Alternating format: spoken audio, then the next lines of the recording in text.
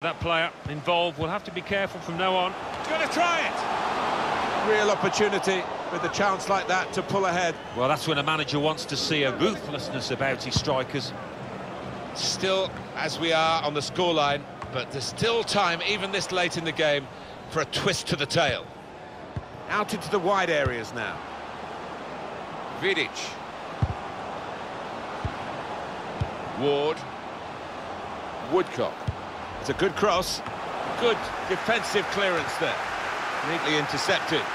Well, we can catch up with the details of that injury from uh, our man Geoff Shreeves. Geoff. Oh, horrible injury to his shoulder there. Landed right on top of there. Sore, but he's tough. I think he'll carry on. And Geoff Shreeves in the know, down by the benches. Van Dijk. And they get it away.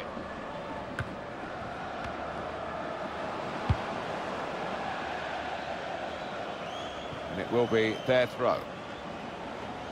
Vidic. Teal. Trying to stretch the opposition, using the wider areas here. Keeper's ball, no question about that. Free kick.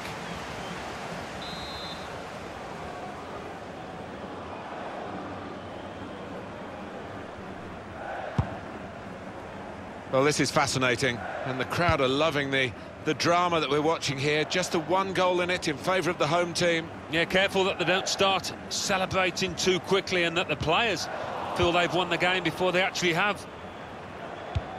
Well, they could have been opened up there, The, but the interception stopped that. A minimum of two minutes. Two more minutes to be played then, added time.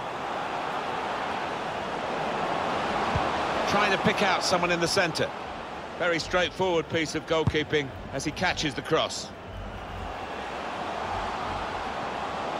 Still got a bit to do, but this is promising. Poor on the ball.